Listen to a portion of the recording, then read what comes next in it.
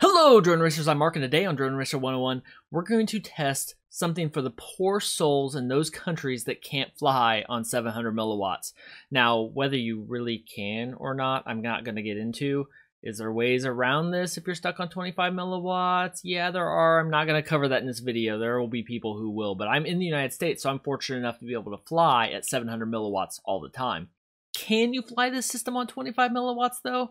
Well, I'm going to try it today with this quad that I've put together and my DJI goggles. So I'm going to try and fly it. First, we're going to see it on 700 milliwatts. Then we're going to switch it, and I'm going to show you how to switch it back and forth between the two to 25 milliwatts, and then do a comparison. I've got uh, them flying. We'll show both flights, and then I'm going to show after that them side by side, so we can talk about what I've done and what it looks like to me. And then I finally got brave with this thing and let it rip. I wasn't as afraid of breaking it so uh, we'll just let it go and see what happens and see at higher speeds if it's any different than when I'm just putzing around trying to look at the quality. So I'm gonna make sure I stand in the same spot each time. I've got a little spot here, so I wanna stand the same way. I'm probably gonna end up looking around just because I do that, but I can't see quite the furthest that I'm going here from here. It's cut off by my house just a little bit, so we'll see how that affects it too. We're gonna take off. It's unlocked. So as I said, this is 700 milliwatts. Gonna go over the tree, go the length, which is about, I'm gonna go out to about 250 meters. Now I have increased the camera angle. Normally here, I have no problem at all. I am, uh, I am in angle mode. Normally have no problem there at all. With 25 milliwatt though, I sometimes have problems there. So I'm gonna go past and around these trees. With analog, I always have breakup around these trees. On the other side of those trees, always, no matter what the power is. Now I could actually see a little extra pixelation. So we're gonna go this way. I don't know why I'm flying in angle mode. And go on the other side of the house. Here I have a little bit of jitter. Now it was better than last time. I, I don't know why. This is a different unit. Let's do another lap around the house. This is stupid. I don't know why I'm in angle.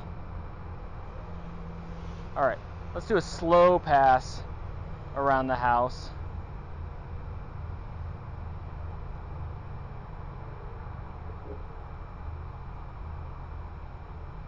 I had no problem there at all. I did drop to two bars, but I had no breakup, no issues at all. So if I go now, I did three laps around the house.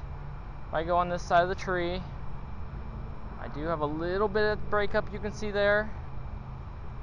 And uh, I think that's good. Okay, let's compare that with 25 milliwatt. So to go between 700 and 25 milliwatts or back and forth, you want to click the little D-pad stick and click and that'll bring up the menu. Go down to settings and then go up or down all the way down. You want to go to device and then from there, you have options. So we're on 700 milliwatts. If I click and I go down to 25 milliwatts, now I'm set. So that'll now transmit, and it changes immediately. You don't have to repower anything. I wasn't sure the first time I tried it, but uh, it goes right there. And then you can go back out, and you're now on 25 milliwatts. Okay, now on 25 milliwatt, I'm going to try and do the exact same thing. Pretty much the exact same speed. All right, can already see a little more breakup on the sides. Oh, there we go. So uh, there I had some pretty bad breakup. I still have control though. I'm down to one bar. I still have control. It's about the same, I'm gonna say. A lot of breakup.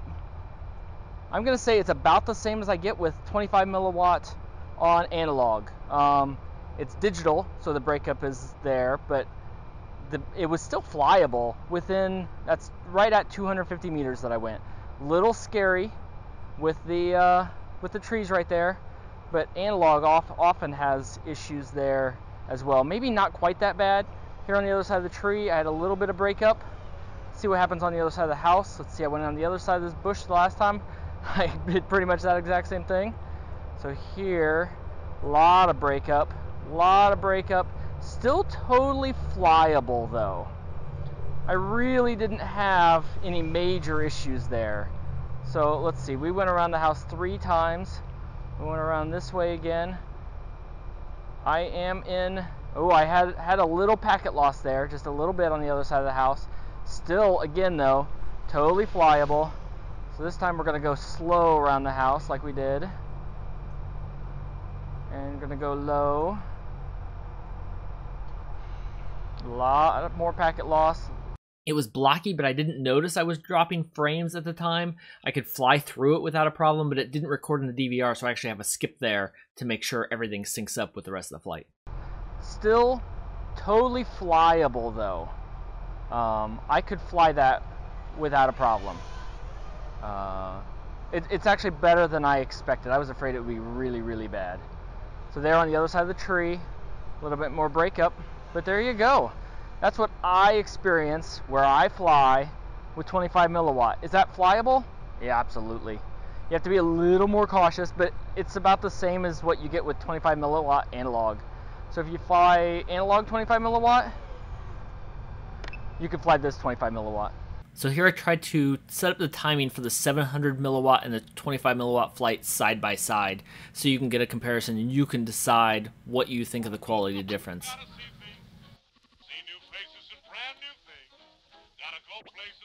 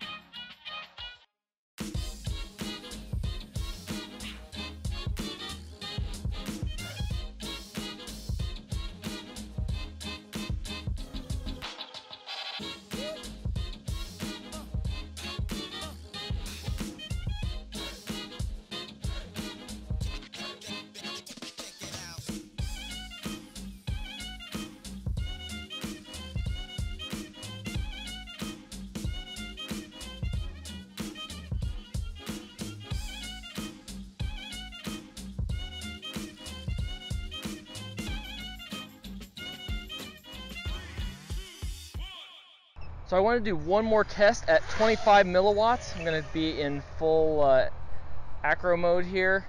So the other day when I tested, I reviewed it afterwards and I didn't, I just kind of flew out a little bit. I didn't do a lot. Oh, there's somebody mowing. Okay, I can't go quite over there so much. But I wanted to go over here a little more, try it a little harder, try it a little more out of control with uh, regular flight modes like I would just to make it more accurate to uh, what it's going to be like flying in a regular environment on a regular day. Because the flights I did for that first test weren't really real. They were uh, they were testing flights. So here I wanted to do more more uh, test kind of flights here to see what it looked like. And you know what? It looks just fine there. I wish that guy wasn't mowing down there so I could uh, test a little more. This quad is fast. Gosh, I like this. Um, I need to update it, maybe this weekend. But anyway, so let's go back here 200 meters or so. We'll go, there's no golfers here right now. So there's 250 meters, full speed. I did get down to two bars. Don't want to lose it in this woods, but I'm no, not worried about that. 25 milliwatts, it's really just fine.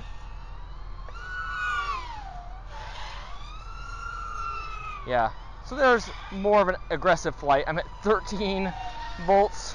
I've been hammering it pretty hard here.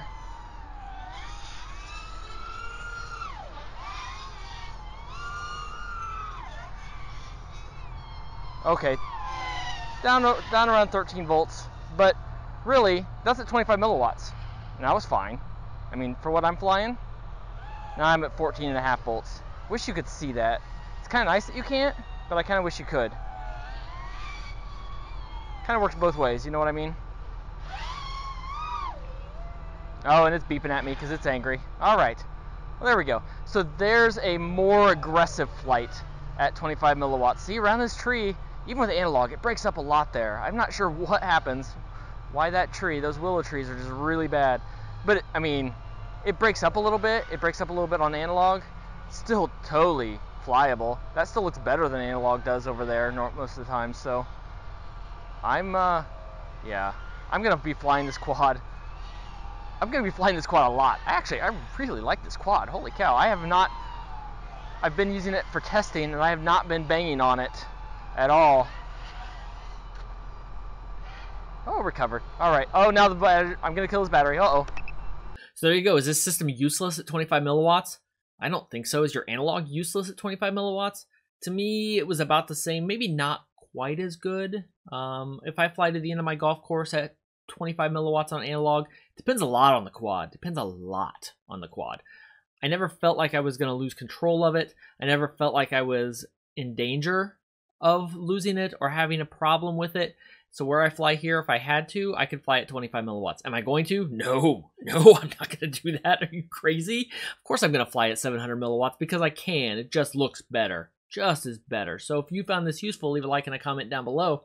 Let me know if you want to see what happens when you fly at 25 milliwatts with better antennas because I already tried it and uh, that's going to be up tomorrow. So until next time, remember, I, I don't know what I'm going to put there. I'm going to I'm gonna have to figure out something. Oops.